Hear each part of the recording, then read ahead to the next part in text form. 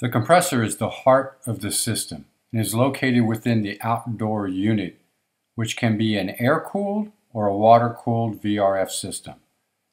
The outdoor unit will serve multiple indoor units, with each VRF manufacturer limiting the quantity of indoor units connected to any combination of outdoor units. The VRF system varies the flow of refrigerant to each of the connected indoor units based on the needs of that unit, allowing the system to adjust the volume based on demand. Each indoor unit uses an expansion valve to control its refrigerant supply to match the cooling heating demand of the space it serves. The outdoor unit also varies its output to match the total demand of the total indoor units. The compressors come in various quantities and types based on the VRF manufacturer and system tonnage. The most used VRF compressor types are the rotary and scroll compressors. The heart of the rotary compressor is the cylinder which houses the piston and vane. The vane maintains constant contact with the piston as the piston rolls along the inside wall of the cylinder. As the piston rotates, gas is compressed into an increasingly smaller area until the discharge pressure is reached, releasing gas into the shell chamber. At the same time, more gas comes in through the suction port, enabling a continuous process of suction and discharge. The simple design and symmetry of the cylinder components combined with a special coating and premium materials provide a highly durable and reliable product, rotation after rotation. Here is Toshiba's rotary compressor, which uses twin rotary technology, which can completely restrain excessive and deficient compression making it highly efficient.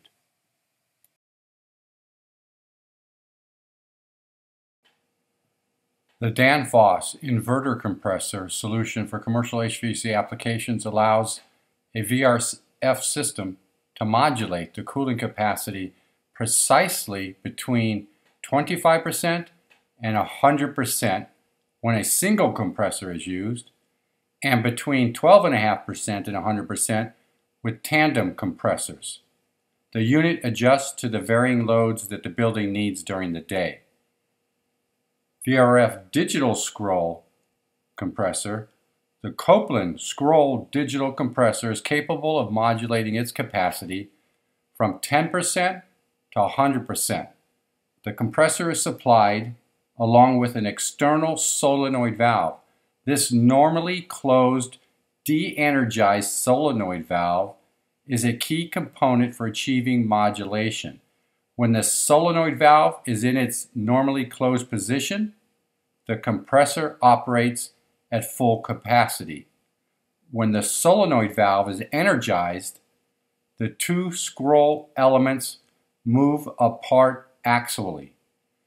During the unloaded state, the compressor motor continues running but since the scrolls are separated, there is no compression.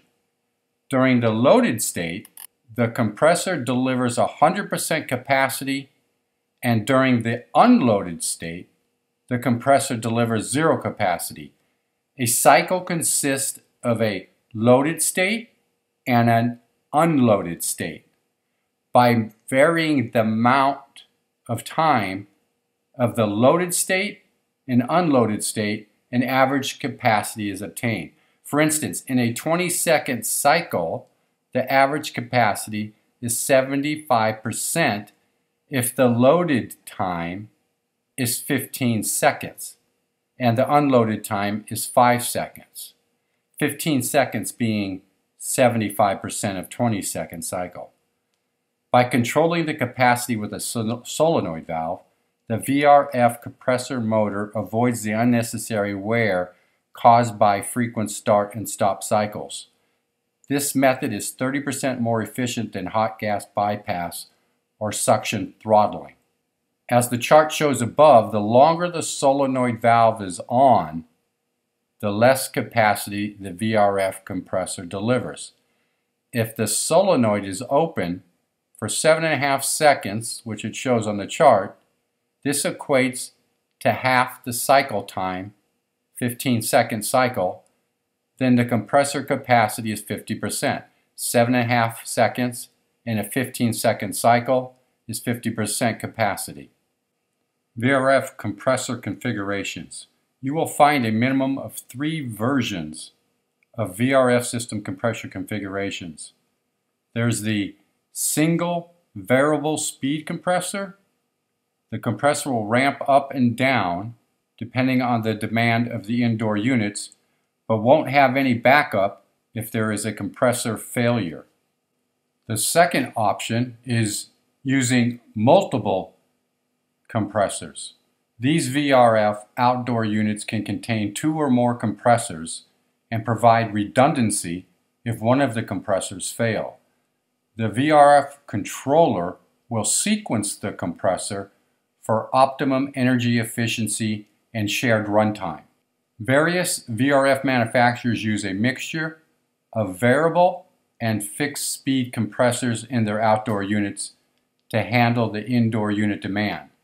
VRF manufacturers may have two or more fixed speed compressors with one variable speed compressor.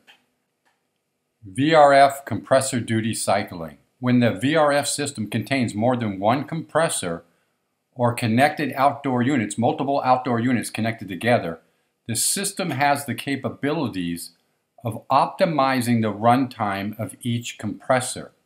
This ensures that all the compressors share in the hours of operation instead of using the same compressor each time the unit comes on. This should extend the life of the VRF compressor by sharing in the total run hours. Some VRF system compressors will rotate operation between outdoor units to ensure system efficiency and shared duty. This means that some outdoor units will be off while others running. Then during the next duty cycle, the unit that was off may now be running while the previous unit that was running is off. Various versions of these scenarios are used by the VRF manufacturers to provide optimum efficiency, compressor longevity, and proper sharing of the runtime for each compressor. VRF compressor backup operation.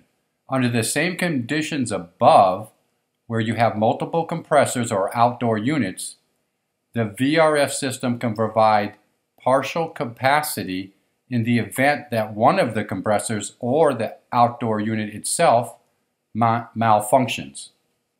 VRF outdoor unit capacity. The capacity of the VRF system is rated per AHRI 1230 to establish its integrated energy efficiency ratio, which looks at the summation of four values of various running capacities at 100%, at 75% capacity, 50% capacity, and 25% capacity, which is one full load condition and three part load conditions. And here's the formula. So it shows that 100% is A in the formula. They consider it running at 100% only 2% of the time. And running at 75% capacity, which is character B in the formula, they consider it running 61.7% of the time at 75% capacity. 23.8% of the time it's running at 50% capacity, and 12.5% of the time it's running at 25% capacity. Efficiencies are higher and energy consumption is lower when running at reduced capacities. So this will be optimized across multiple connected compressors by running them at part loads before running one compressor at full load. as the formula gives the greatest weight to running at 75% load, followed by 23.8% at 50% load. Larger capacity systems are achieved by mating several smaller units together. The use of inverter duty compressors and electronic expansion valves, EEVs, provides a method for stable temperatures and pressures in addition to energy savings. The speed of the compressor will vary based on the cooling and heating demand from each indoor unit, which has an expansion valve regulating the flow of liquid refrigerant for cooling or hot gas vapor for heating. The pertinent information from the positions of the EEVs and the indoor sensors is communicated to the outdoor unit, which makes an adjustment to the volume of refrigerant flow in the system and the speed of the outdoor fan required to meet the existing conditions. For digital scrolls, this would affect the loading or unloading cycle time. With the Daikin VRV4 system, you can choose the temperature response speed. As the outdoor temperature increases, so does the evaporative temperature.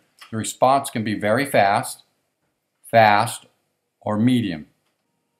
The compressors contained within the various VRF manufacturers' equipment is often manufactured by another company, one that specializes in compressors like Danfoss or Copeland. The use of VRF systems and the various compressor types will save on energy and provide the following benefits. Precise cooling and humidity management low startup current, a soft start, energy efficient, low noise levels, and variable speed, of course. There are other characteristics of a VRF system that contributes to its ability to reduce energy consumption besides its variable refrigerant flow or its variable speed and capacity modulated inverter duty compressors. This includes the use of multiple compressors or multiple outdoor units, the use of ECM motors on the indoor fans, and or variable speed drives on outdoor unit fans will also vary based on the cooling or heating load. If you like that video, please give it a thumbs up and subscribe to our channel. Thank you.